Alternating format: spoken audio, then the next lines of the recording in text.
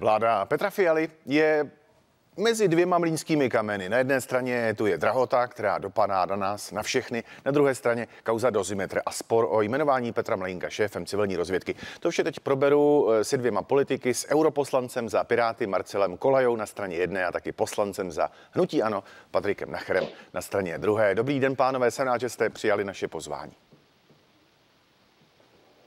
Dobrý den. Dopoledne.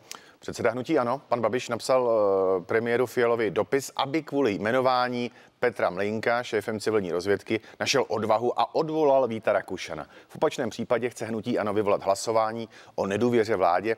Zajímá mě váš názor, má hlasování o nedůvěře vládě e, smysl nebo spíš lépe řečeno šanci na úspěch? Co si myslí pan europoslanec? A také já myslím, že je to uh, trošičku taková exibice. Uh, samozřejmě ten, uh, ta kauza s panem Melinkem je vážná a je potřeba ji prošetřit. Um, um, což se i děje. Na úrovni vlády se to děje. Pan Mlejnek byl na vládě. Některé ty um, informace, které se objevily v médiích, tak tam vysvětloval Eh, samozřejmě z podstaty věci, z povahy eh, toho, že se jedná o důvěrné informace, tak to bylo diskutováno v důvěrném režimu, eh, takže ani já nemám přístup k tomu přesně, co tam bylo řečeno, ale v každém případě podle těch informací, které já mám k dispozici, tak nebyly shledány okolnosti k tomu, že by pan Mlejnek měl být odvolán. Ale to neznamená, že tím ta kauza končí, to prošetřování stále pokračuje. Eh, my jako Piráti máme eh, určité otázky, které musí být zodpovězeny, no a pokud nebudou, tak samozřejmě z toho musí být vyvozena eh, nějaká zodpovědnost, ale v tuto chvíli vyvolávat hlasování o nedůvěře vlády prostě není nic jiného než mediální exibice. Stejná otázka, i když ji obměním pro pana poslance Nachera, platí tedy to avizované, že hnutí ANO bude iniciovat hlasování o nedůvěře vládě, pokud pan premiér neodvolá pana ministra Rakušana. Platí to? Tak my o tom budeme ještě hovořit určitě na klubu a já nevím, jaká bude reakce pana premiéra, co se mezi tím eh, ještě uděje, co se změní.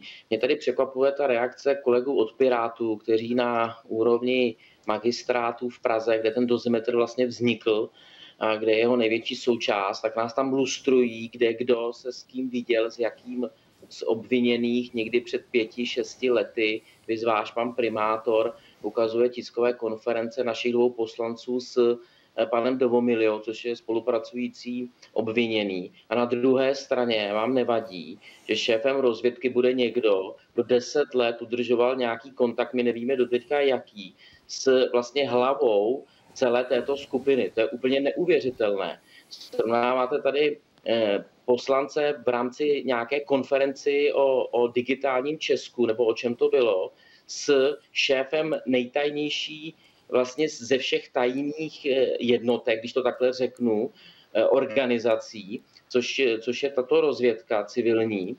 A už od, první, už od prvního okamžiku jsou tam tyhle ty nejasnosti, Vůbec nerozumím tomu, jak je možné, že to vláda tohle to hájí. Z tajné jednotky se stala vlastně organizace veřejná, protože to tady se probírá v médiích dnes a denně. Už to samotné poškozuje, eh, poškozuje tuto rozvědku a nevím, jestli tohle je ta cesta ke zvýšení naší bezpečnosti, ale ten, ale ten vztah k tomu od Pirátu, a tady pan kolega to ještě vlastně zopakoval, je pro mě úplně neuvěřitelný vzhledem k tomu, co říká váš primátor.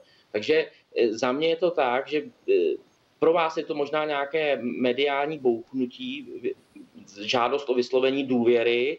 Tady zopakuju, že minulá, minulá opozice to udělala dvakrát nebo třikrát.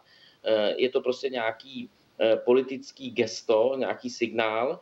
Eh, ale spíš se zamyslete vy eh, nad tím, jestli vy se tam nechcete být v té vládě za každou cenu, abyste udrželi ty funkce, vzhledem k tomu, že máte jenom čtyři poslance. Protože ten rozpor mezi tím, co říkáte v Praze, vůči všem ostatním a tím, co tady tolerujete, je neuvěřitelné. Pokud chce Marcel Kolaja reagovat, tak teď je ta chvíle. Eh, já jsem vůbec neřekl, že my něco tolerujeme, tak já to zkusím zopakovat možná trochu jinými slovy. Prostě to tady musí být nalezeno řešení, které je racionální a které se zakládá na nějakých reálných podkladech. To znamená, že ty informace, které proběhly v médiích, musí být šetřeny, to se děje, ale rozhodně přeci nemůžeme jaksi nastoupit a volat po odvolání člověka, když nebyly Eh, ty informace ještě prověřeny. A to se děje. Vláda k tomu eh, přistupuje eh, naprosto racionálně. Podívejte se, jak, tomu, jak přistupovala předchozí vláda ke kauzám, které měla v, ve vedení vlády byl člověk, který byl dlouhodobě ve střetu zájmu. Dostali dokonce Česká republika, celou Českou republiku minulá vláda zatáhla do konfliktu s Evropskou komisí. Bylo jasně, jasně potvrzeno, že ve střetu zájmu ale místo toho, aby eh, tak vlastně byla zatahována celá Česká republika, hrozily obrovské pokuty. Takže eh, já si myslím, že eh, pokud pan Nacher má velmi rád slovo, slovo dvojí metr, tak tady by se sám měl zamyslet nad tím, jestli ten dvojí metr tady neuplatňuje.